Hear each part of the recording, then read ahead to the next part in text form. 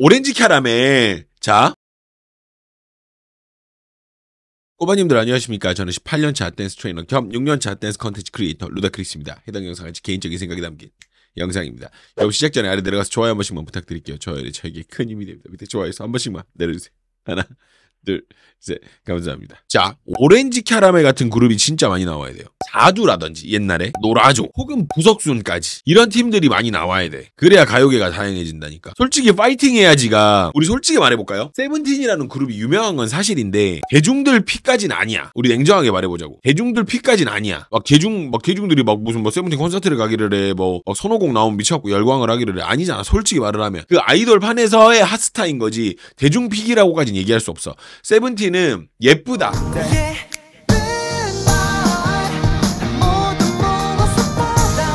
혹은 뭐 그래 아주 nice. 그래 뭐 그런 거. 아주 nice. 박수. 뭐 약간 이런 곡에서 끝난 거지. 지금부터 손에 불날 때까지 박수 대중픽은.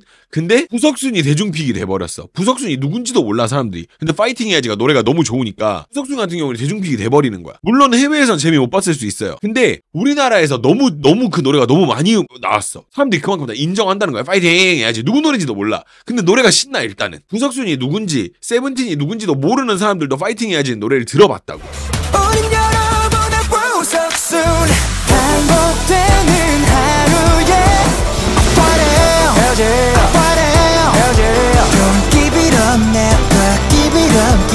이게 대중픽의 음악이에요. 이게 대중가요가 가야 할 길이고. 뭐 놀아줘. 아들아, 뭐 망도는 망도는 하고 가야지. 이런 노래 모르는 사람이 누가 있냐고. 다 안다고. 아들아 망토는 하고 가야지 올빼머리 근육 빵빵 난 슈퍼맨 지구인의 친구 난 슈퍼맨 자도 잘 말아줘. 이런 거.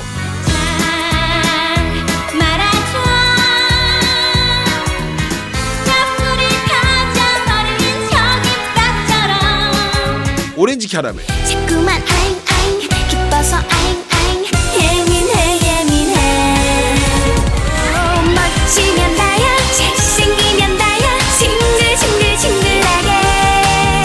이런 노래들이 많이 나와야 가요계가 건강해지고 다양한 것들이 많이 나오고 진짜 딴따라들이 고개를 들고 아 나도 가수의 어떤 그런 꿈을 꿔봐야겠다 이런 생각을 하는데 계속 만들어진 어떤 인형 같은 팀들만 계속 나오다 보니 이게 계속 이렇게 되는 게 아닌가라는 생각을 많이 해요 저는 솔직히. 그래서 노라조나 뭐 진짜 뭐 자두 구석순 뭐 이런 팀들. 그러니까 싸이 싸이가 그 명맥을 잇고 있는 거잖아 계속.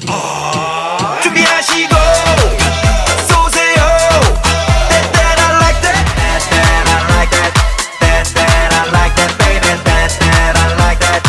저는 그렇게 생각합니다. 그러니까 그러니까 가수는 몰라도 노래를 알아야 돼. 그게 가, 요의 근본이야. 그래 B급 감성은 아무나 하는 게 아니라니까. 그러니까 나는 좀 이런 부분에서는 좀들이 많이 추구가 돼야 된다고 봅니다. 컨셉적으로도 그렇고 예, 이런 부분들이 많이 나와야 된다고 봐요. 그리고 혼성 그룹도 많이 나와야 된다고 보고 룰라라든지 그러니까 카드가 그나마 명맥을 잇고 있는데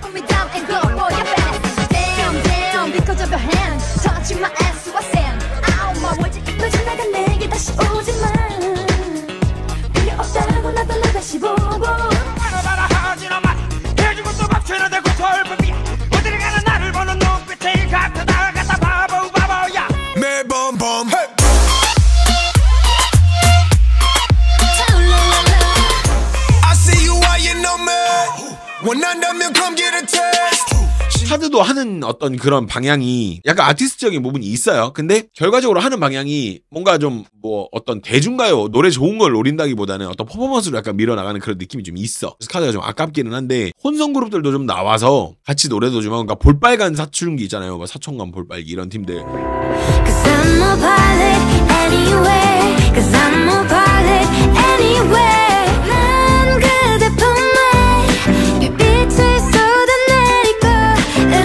있어줘야 되고 그리고 뭐 악뮤 이런 팀들.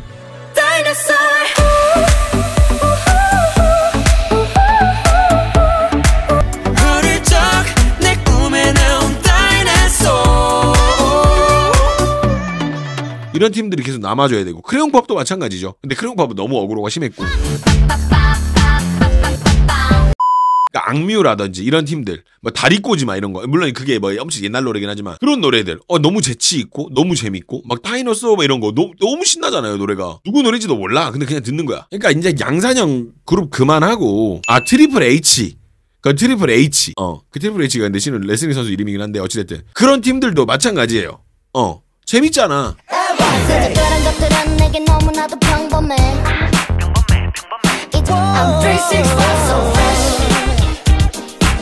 하나부터 열까지 아, 이- 이거 얘기 나온 김에 이거까지 계속 해야 되겠다. 그러니까 내일은 없어 이런 거. 막 미쳐버리지. 미쳐본다니까 트러블 메이커는.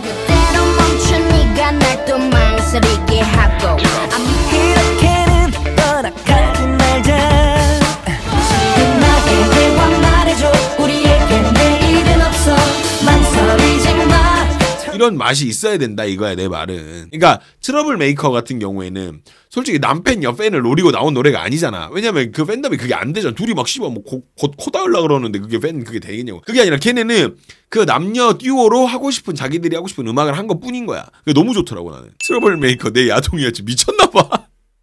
그런 게 대중가요지 않나. 남녀공학은 좀 오바입니다. 남녀공학은 좀 오바예요. 레이드 남녀공학은 좀 오바입니다.